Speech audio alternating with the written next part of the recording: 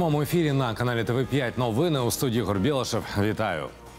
Тиждень без газу. Так живуть мешканці одного з будинків по вулиці Козака Бабури. 20 вересня представники Запоріжгазу перекрили постачання блакитного палива, начебто через скаргу на витік. Аби усунути проблему, необхідно перевірити кожну квартиру, але потрапити до них змога є не завжди. Чи вихід із цієї ситуації дізнавалися наші журналісти. Шість днів мешканці будинку номер 10 по вулиці Козака Бабури живуть без газу. Вже тиждень в раціоні людей їжа швидкого приготування. Натомість газовій службі кажуть, купуйте електроплити. Мешканці будинку лютують. З першого дня не можуть домогтись ані відповідей, ані підключення газу. Пришли, прошлись по первому этажу, у кого был доступ в квартиры, они просто переключили, закрыли нам вентили. Мы в четверг не могли дозвониться, в пятницу мы позвонили, никто ничего не отвечал, они не приехали. Суббота, воскресенье, выходные, никто ничего. З 20 вересня 171 родина залишається без газопостачання. Кажуть, довелось навіть змінити раціон. Тепер у ньому переважно їжа швидкого приготування. Это вот 6 дней ваша дети. Вот, да, вот, ну, вот весь дом так вот. А маленькие дети что? А сказали нам вообще, покупайте электропечи и готовьте на Это электропечах. нам сказал э, этот начальник, э, Начальник, этого, газовой ага. службы. Тож люди зібрались, написали колективний лист. Ініціативна група звернулась до райадміністрації. Нас приняли, выслушали. Везде вот прозвонили, мы были у Бочкин Сергей Александрович. Вот. Позвонили, сказали, что вся проблема 154-я квартира. Ходили вчера сюда уже по месту жительства к нам. э, инженер газовый, пообещали и нам прийти. Мы вчера сидели, ждали, девочки пришли, прошлись, где жильцы есть. Перевірили справність газових вентилів. Потрапити не змогли до чотирьох квартир. Місцеві мешканці переконані, проблему можна було б вирішити інакше. Проблема э, придуманная, пр- просто И придуманная они ничего не проблема. отвечают И конкретно. мы ходили на, 100, э, на девятый этаж, там газом не воняет.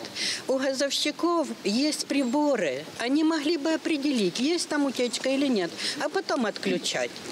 Они приехали, сразу отключили. А как жить дальше? У нас нет денег плитки покупать. 500 гривен плитка стоит. И у нас э, этот дом по проекту до И плитки не если готов. все включат, э, что будет с электричеством? Дому 40 лет. В компанії «Запоріжгаз» підтверджують, витік в одній з квартир був.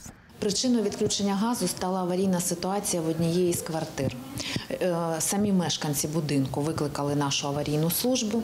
Вона приїхала, аварію ліквідувала. І ось тепер е, треба пускати газ. Для цього необхідний доступ в кожну квартиру першого поверху, бо саме там за проєктом знаходяться вентилі. В кожну квартиру першого поверху. Тому е, люди на роботі, ми йдемо на зустріч. Можна викликати в будь-який час доби аварійну службу 104, да, навіть вночі, якщо там хтось працює. Варто вказати все ж таки, що я мешканець цього будинку, цієї саме квартири. і Да, так, першого я поверху. Да, якщо інші, ну інші не потрібні нам люди.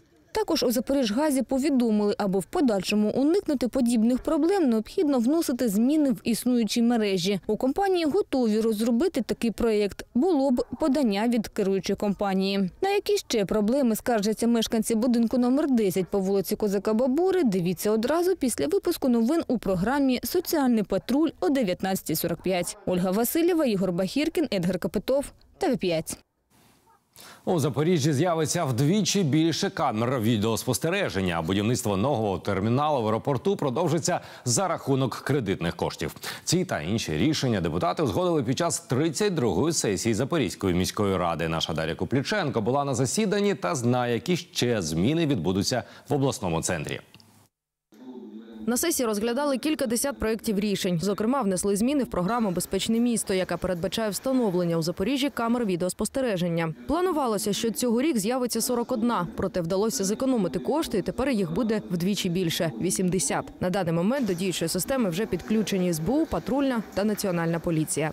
Я вважаю, що в наступному році ми також повинні далі фінансувати цю програму, тому що це все-таки безпека і наших жителів, і наших дітей, і відвідувачів нашого міста.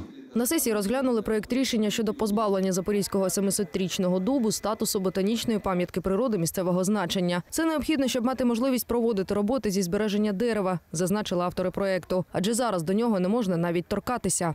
Когда предоставили дубу в 1972 году этот статус, после этого поддержание дуба и спасением занимались только на общественных началах веревками и железными палками. Смысл сегодняшнего статуса дуба, что к нему люди не должны ни, притря- ни притрагиваться, ни кронировать, ни резать, ни обрезать, ничего. Після того, як у велетня вдарила блискавка, живою залишилася лише одна гілка. Проте позбавити дуб статусу пам'ятки не означає, що вже завтра до історико-культурного комплексу приїдуть робітники та спиляють дерево, зазначив Володимир Буряк.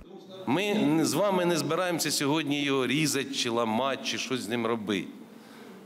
У мене в голові тільки одне, як його спасти. Ми з вами, як кажуть, просимо, дайте нам можливість спасти це дерево і залишити нашим нащадкам хоч ту гілку, якщо це можливо.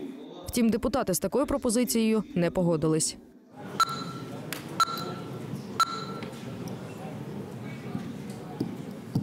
Присутні наполягали на розгляді питання профільною комісією. Кажуть, потім, можливо, цей проект рішення знову винесуть на розгляд сесії. Проте, коли це буде, невідомо. Комісія, да? От розглядайте і будете ви виносити те чи інше рішення. От коли винесете його, тоді будемо розглядати. І всю відповідальність за, за сьогоднішній дуб візьмете на себе. Питання роботи комісії взагалі порушувалось на сесії досить часто. Наприклад, майже 40 хвилин присутні слухали звіт представників фракції БПП за результатами перевірки підприємства Комунсантрансекологія. Тривалий виступ зводився до одного: керівництво необхідно змінити та направити звернення до правоохоронних органів. Але з такими результатами погодились не всі. Скажу так, завидной производительностью за три дня был подготовлен данный отчет, хотя по положению его необходимо было подготовить в октябре. Ну, выводы и результаты которого очевидны. Сценарий, по сути дела, он очевиден. Очевиден создать беспе- мусорный беспредел в городе и создать его по львовскому сценарию. И тогда на фоне этого рост цен на газ перед отопительным сезоном, рост цен на топливо, обвал гривны, рост цен вообще на все. Это покажется ну, такими маленькими проблемками и маленькими цветочками для наших горожан и для наших жителей. Понятно, что ну, чем-то внимание надо отвлекать. Депутати підтримали проєкт рішення щодо інвестиційної програми підприємства Вельтум. У майбутньому компанія має намір встановити євроконтейнери та закупити сучасну техніку для вивезення сміття. А інвестиційна програма це перш за все забезпечення тими сміттєвими баками, які нам потрібно. Може їх потрібно тисячу, може п'ять тисяч. І сьогодні воно вже заложено там близько 500 чи скільки там контейнерів для твердих побутових відходів, 477 контейнерів для виконання закону щодо роздільного збору твердих побутових відходів. Крім того, депутати погодили залучення кредитних грошей для будівництва нового терміналу Запорізького міжнародного аеропорту. Джерелом повернення кредиту та витрат на його обслуговування є власні кошти комунального підприємства. Проголосували також за виділення 15 мільйонів гривень на закупівлю лінійного прискорювача для Запорізького онкологічного диспансеру на умовах співфінансування. Дар'я Купляченко, Сергій Чал, Іван Дем'яненко, ТВ 5 Стипендіатка у 99 років. Жителька Більмацького району, ветеран війни Катерина Суржик буде отримувати довічну державну стипендію. За часів Другої світової війни вона рятувала поранених, брала участь у штурмі Сапун гори, визволяла Закарпаття, втекла з полону та пішки подолала тисячі кілометрів. Людина легенда, саме так її називають у більмаку. Про неї пишуть книжки та складають вірші з відчайдушною і дуже люблячою життя Катериною Митрофанівною спілкувалися наші журналісти. На ганку місцевого будинку культури фото на пам'ять у центрі Катерина Митрофанівна. Жінку, якій у червні виповнилося 99, тут знає кожен. І не лише за її поважний вік. Почесна жителька Більмака та району. Призначення стипендії у селищі чекали більше року. Ми подали, подали клопотання десь півтора року. Ми чекали вже цієї сьогодні. Дуже велике свято. Це для нас. Указ президента про призначення довічної стипендії урочисто передають пані Катерині. Вона за своє життя отримала не один десяток нагород: кавалер ордена слави третього ступеня, орден Червоної зірки, орден вітчизняної війни, орден за мужність і не тільки. Нагороди розповідають про непростий життєвий шлях. З першого і по останній день війни медсестра Катерина була на фронті. Потім відступлення і в 42-му годі попали в плен наш госпіталь. От. Я попала за, за у Луганській області, чи тепер тоді Ворошиловська, попала в плен за колючу проволоку. От. Це дуже страшне діло було. Три дні я пробула під відкритим небом і вдалося мені втікти. От якраз налетіла наша авіація, бомбила це село, охорона розбіглася, і я втекла.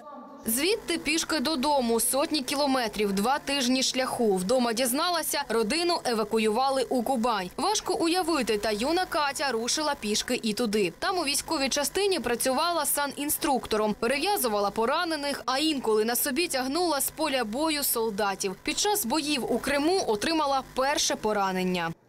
У мене пуля вилетіла на узкий.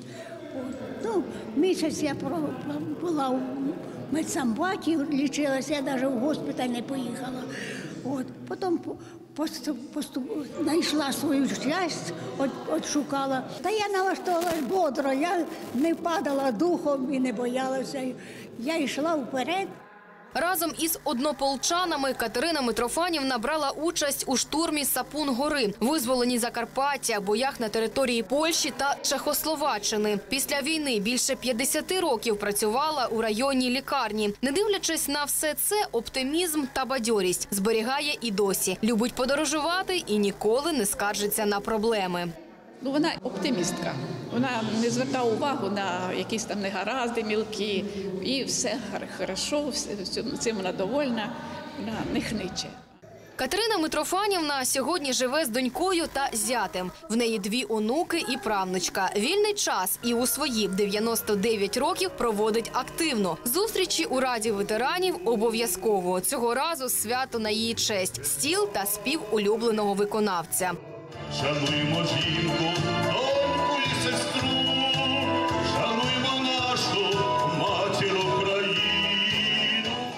сама Катерина Митрофанівна задніх не пасе. А ти серце ходи, мене вірно люби, серце моє. Призначення стипендії річ приємна. З посмішкою жінка каже, тепер вона не мов студентка, а не на камеру зізнається. Вже не один десяток років. Мріє, щоб їй, як учаснику бойових дій, надали земельну ділянку. Заслужений ветеран все ніяк не потрапить у необхідні списки. Сподівається, можливо, хоч до сторіччя доля підкине подарунок. Вже у червні 2019-го запрошує усіх на ювілей і собі, і іншим бажає. Вік довгий і розум добрий. Катерина Шапка, Дмитро Демидов, Більмацький район, ТВ5. В Запоріжжі готуються до другого гастрономічного фестивалю Белуга Фест. Вперше його влаштували навесні цього року. Тоді він зібрав близько 16 тисяч відвідувачів, а ще відзначився всеукраїнським рекордом приготуванням 10 тисяч порцій чорноморської кільки. Дивувати запоріжців обіцяють і цього разу. Наразі в Олександрівському районі тривають приготування.